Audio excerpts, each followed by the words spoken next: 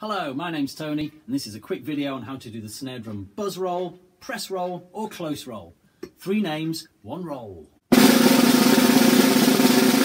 So before we start, just take your drum key and check that your top head, the batter head and the bottom head, the snare head are nice and tight. This will make the snare drum roll a bit easier to learn when you're first starting out. Also, check that your snares aren't too loose for a washy sound or too tight for a choke sound. Let's talk about grip.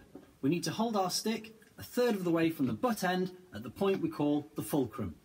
Place the stick, first finger, first joint, thumb on top, nice and in line. Not too tight, not too loose. Now we're ready to try some strokes. We're going to start off with a very loose grip so that the stick has multiple wide bounces like so.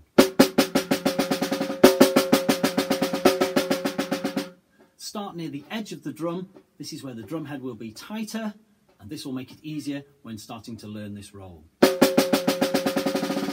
What we want to do is capture that very last moment where the stick goes into multiple bounces. We want that to happen straight away.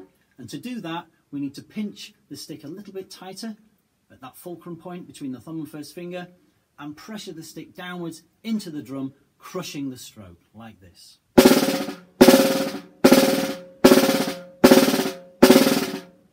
Now we're ready to try the buzz roll itself. And here's a little exercise to get you started. Try playing semi-quavers, alternated sticking, like this.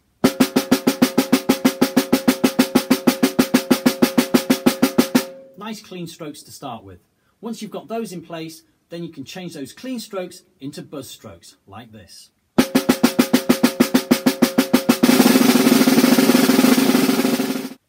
To make that sound a little tighter, just speed up the strokes. So my final few tips on the buzz roll. Experiment with the amount of pressure that you are applying between your thumb and first finger at the fulcrum and the amount of pressure that you are pressing downwards with the stick into the drum. This will dictate how the stick responds, from loose bounces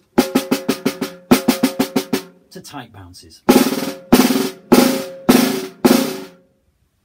I hope you've enjoyed this video and it's given you a little bit of an insight into how to do that essential skill of producing the drummer's snare drum buzz roll. Keep practicing